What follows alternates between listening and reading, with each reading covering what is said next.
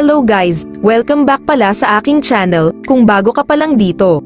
Welcome sa aking channel, yung video na gagawin natin ngayon ay magtatahi tayo ng knitted sando crop top. Ito yung example na gagayahin nating sando crop top na nasa Shopee, kasi tamang-tama na may cotton fabric din ako dito na kulay puti. So ito yung tatahiin ko, nasa 2x2, meters yung haba ng fabric kaya maliit lang yung gagamitin kong fabric kasi sando crop top lang yung tatahiin ko. Mayroon na din ako ditong pattern na pagbabasihan natin. Sa mga wala pang pattern o hindi alam kung paano gumawa ng pattern, yung dapat mo lang gawin ay, kunin mo ng basi ang iyong t-shirt.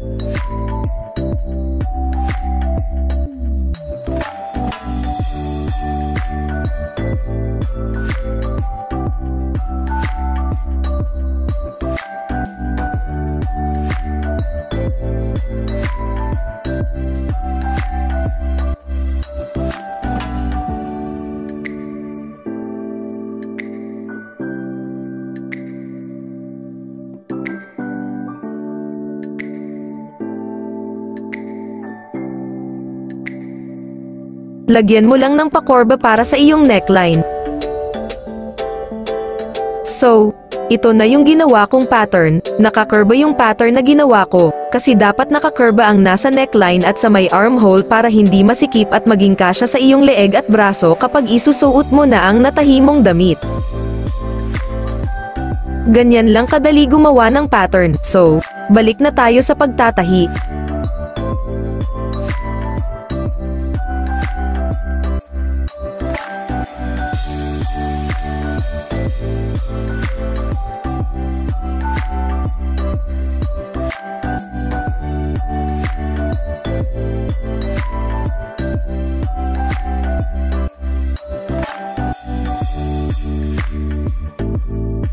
Umpisahan na natin, minarkahan ko lahat ng mga gilid.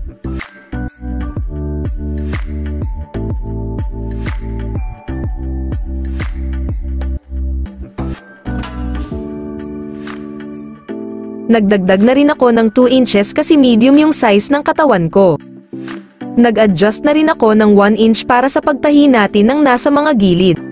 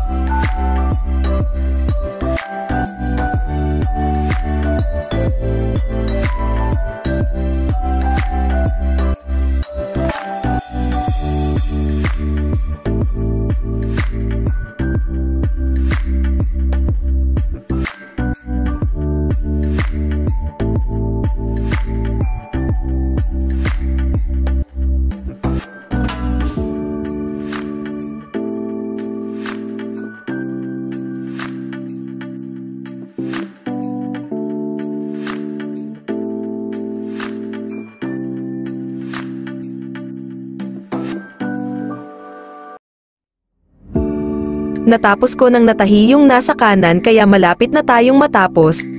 Tahiin natin yung ibang party na hindi pa natahi. Dito banda, ay tinupi ko ng dalawang beses para sa edge. Tinatawag itong hem, kung saan ito ay paraan ng pagtatapos ng damit.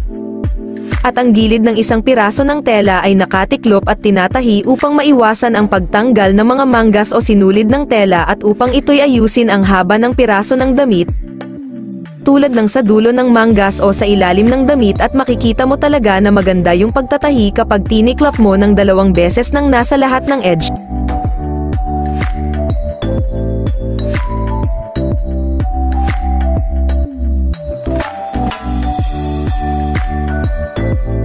Tinahi ko na yung ibang party ng nasa mga gilid kaya malapit na akong matapos sa pagtatahi.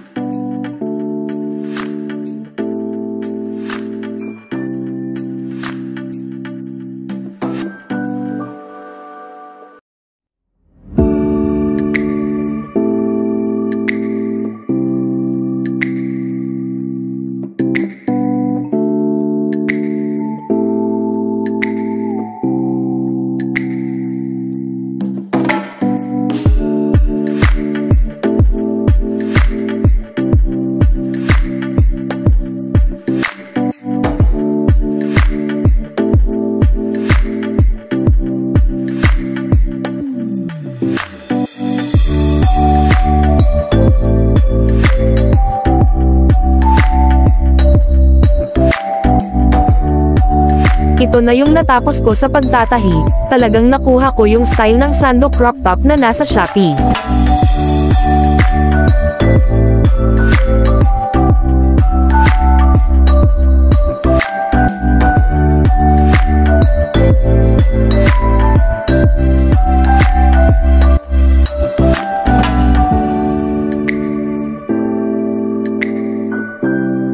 Sinuot ko na siya para makita nyo rin yung resulta ng pagtahi ko sa sando crop top.